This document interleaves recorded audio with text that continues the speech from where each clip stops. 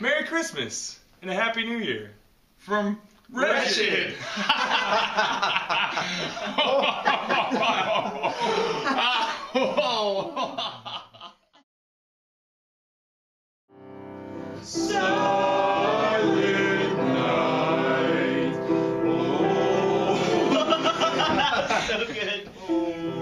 say, that's the